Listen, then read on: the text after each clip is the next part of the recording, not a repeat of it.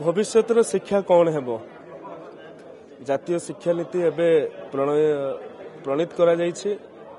ଓଡ଼ିଶାରେ ତାହା ଲାଗୁ ହେବାକୁ ଯାଉଛି। ଗତ ବଜେଟ୍ ଅଧିବେଶନରେ ମାନନୀୟ ମୁଖ୍ୟମନ୍ତ୍ରୀ ତାହାକୁ ପ୍ରକାଶ କରିଛନ୍ତି।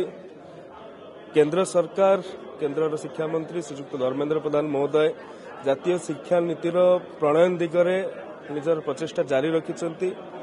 ଏହି ଅବକାଶରେ ଏହି ପରିପ୍ରେକ୍ଷୀରେ ଭବିଷ୍ୟତରେ ଶିକ୍ଷାଟା କେମିତି ହେବା ଦରକାର ଏବେ ତ ଆର୍ଟିଫିସିଆଲ ଇଣ୍ଟେଲିଜେନ୍ସର କଥା କୁହାଯାଉଛି ଜେନ୍ ଏଆଇ ମେସିନ୍ ଲର୍ଣ୍ଣିଂ ଏସବୁ କଥା ଭିତରେ ଆମ ରାଜ୍ୟ ଆମ ଦେଶ ସେଥିପାଇଁ କେତେ ପ୍ରସ୍ତୁତ?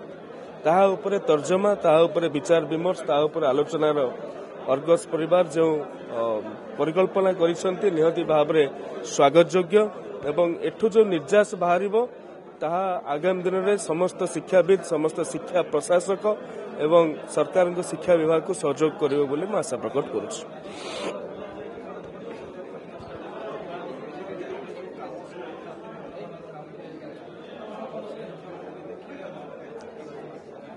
ଦେଖନ୍ତୁ ସକାଳେ ତ ପ୍ରାତଃ ଭ୍ରମଣରେ ମୁଖ୍ୟମନ୍ତ୍ରୀ ଯାଇଥିଲେ ଏବଂ ଯେତେବେଳେ ମୁଖ୍ୟମନ୍ତ୍ରୀ ଯାଉଛନ୍ତି ମୁଁ ବି ସାଙ୍ଗରେ ଥିଲି।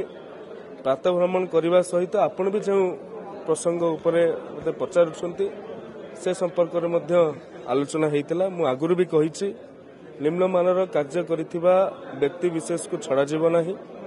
ଇଏ ସରକାରୀ ପଇସା ସରକାରୀ ରାଜସ୍ୱରୁ ଆସୁଥିବା ପଇସା। ଆମେ ତଦନ୍ତ କରୁଛୁ ଏବଂ ତା ଉପରେ ଠିକ୍ ଭାବରେ ଆମେ କାର୍ଯ୍ୟାନୁଷ୍ଠାନ ଗ୍ରହଣ କରିବୁ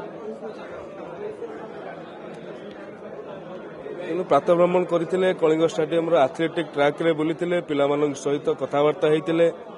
ଯେଉଁମାନେ ଅଠର ବର୍ଷରୁ ଉର୍ଦ୍ଧ୍ୱ ହେଉଛନ୍ତି ସ୍ପୋର୍ଟସ୍ ହଷ୍ଟେଲରେ ସ୍ଥାନ ପାଇପାରୁନାହାନ୍ତି ସେମାନଙ୍କ ସମ୍ପର୍କରେ ମଧ୍ୟ ଚିନ୍ତା ପ୍ରକଟ କରିଥିଲେ ମୁଖ୍ୟମନ୍ତ୍ରୀ ମହୋଦୟ।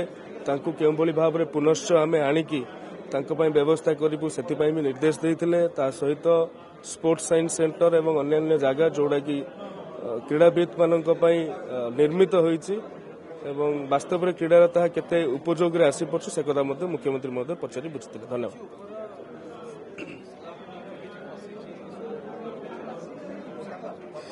ମୁଁ କହିଲି ନା ତଦନ୍ତ କରୁଛି ତା ଉପରେ ଖସିଛି ତ ସତ। ଖସ- ନ ଖସିଥିଲେ ତଦନ୍ତ କାହିଁ ହେଇଥାନ୍ତା? ଯଦି ଆପଣଙ୍କୁ ଆମ ଭିଡ଼ିଓଟି ଭଲ ଲାଗିଲା ତେବେ ଆମ ଚ୍ୟାନେଲକୁ ଲାଇକ୍ ସେୟାର ଓ ସବସ୍କ୍ରାଇବ୍ କରିବାକୁ ଜମା ବି ଭୁଲନ୍ତୁ ନାହିଁ।